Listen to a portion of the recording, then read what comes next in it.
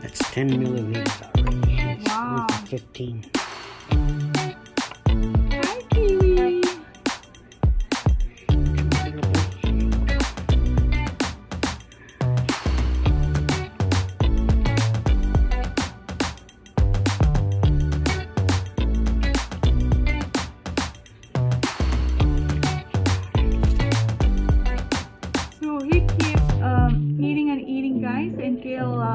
He's full. and then when he's full, he stop uh, eating. He won't open his mouth anymore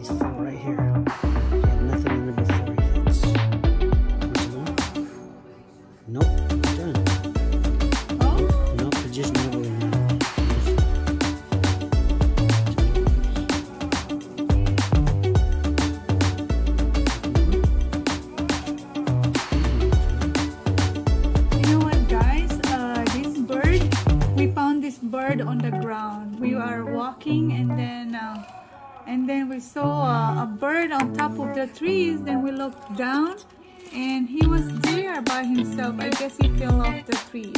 So we adopt him for a couple of weeks now.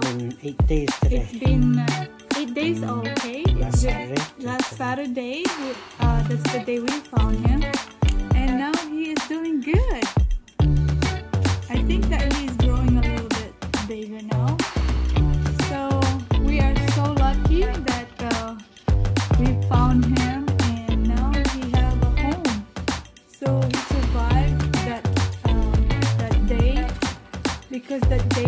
Him he was like kind of uh, still a baby and he's kind of like we think he was dying but we we took uh, him home to our house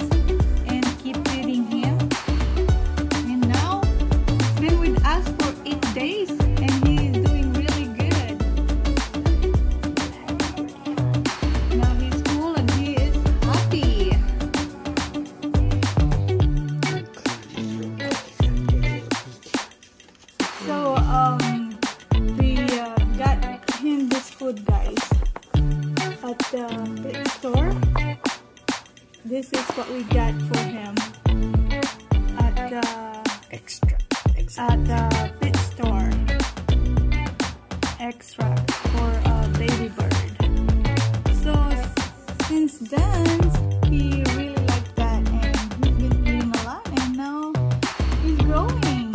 Start off with bananas. We start uh, him off of banana. We uh, kind of like make the bananas like a smoothie, but he doesn't really like that. So we went to a pet store and get him the real food for a baby bird.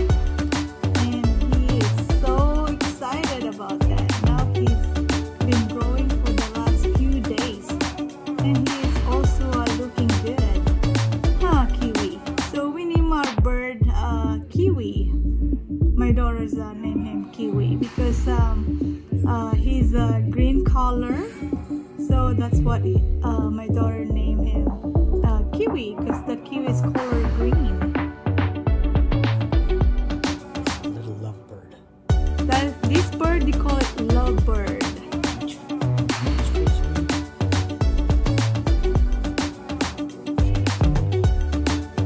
Now he's inside of his house. Look at him. Makes me feel like Hi, Kiwi. So uh, the birds uh, uh, go inside uh, the house, I guess he feels like they're inside. Uh, they're uh, in their mama's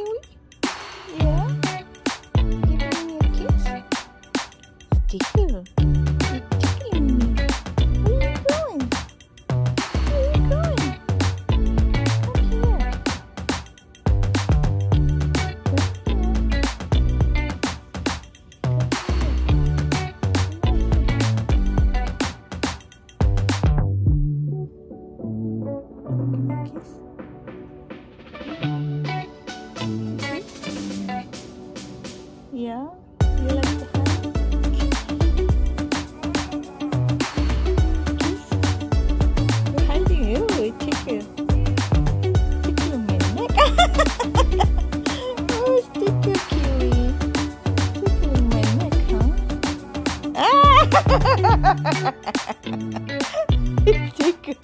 It's Tinker Kiwi. okay. ah, that me goosebumps. ah. All right.